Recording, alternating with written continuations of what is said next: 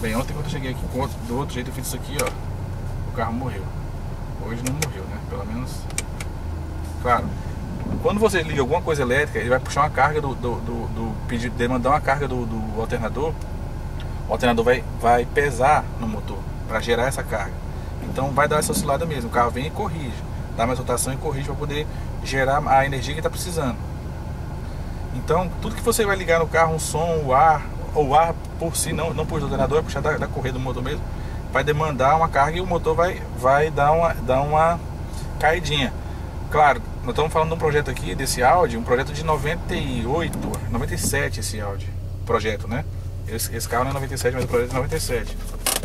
Então, você tem que entender que o sistema era, era inteligente, era, mas tinha algumas coisas que eles já corrigiram. Por exemplo, se eu fosse fazer hoje o ar-condicionado, eu só liberaria o, ar, o, o, compressor se a central já soubesse, já tivesse subido o giro. Eu não deixaria cair para poder o ar entrar. Eu subiria a rotação e ligaria. Eu faria estratégia diferente para não acontecer essa, essa moscadinha. Mas é, é opinião minha, né? O engenheiro pode pensar diferente. Então vamos ligar o ar aqui, o carro desligado. deu a, a, a, baixadinha, mas foi bem mais suave, né? Tirar, vou botar em marcha aqui, D, Ré, quer dizer. Que Ré? Porque quando a Ré demanda e entra o conversor de torque e o carro tá freado, ele já dá uma carga no motor, já muda a, o regime do motor. Estou exigindo mais o motor. Tá vendo que quando ele cai mais quando tá em marcha? Se eu chamar um D aqui. Se eu soltar o freio de mão e simular uma andada e parar. Simulei, andei e parei. Agora neutro, bota uma ré. Ó, o motor dá uma oscilada.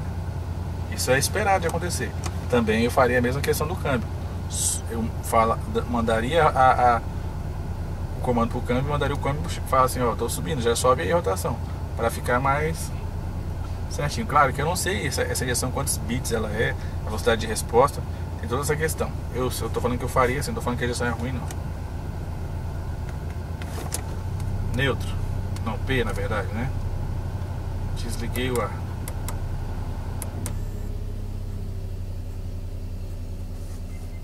Soltei o freio, freio de mão. Desliguei farol. Liguei o ar.